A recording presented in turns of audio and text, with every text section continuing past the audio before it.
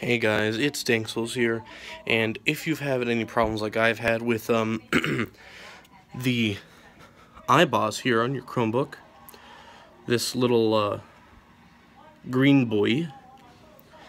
So say you want to go to, sorry I'm very slow with this, Steam.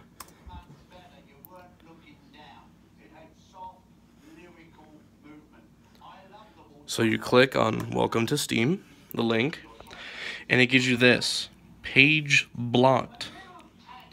Now there is a very, very easy way to um, fix this.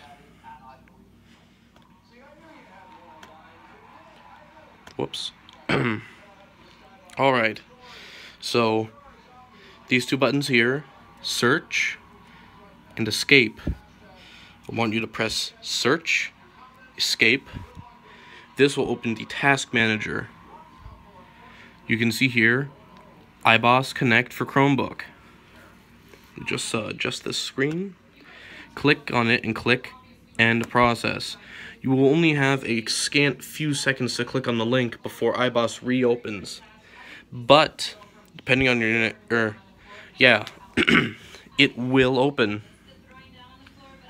very slowly. But see, it's open. However, since iBoss has restarted itself, say you click login, page restricted. Now to fix this, you simply use the same method. End the process for iBoss, then click the button. Very, very quickly, you only have about one or two seconds before this uh, prickly green boy right here reopens. And voila, that is how you temporarily bypass iBoss on a Chromebook.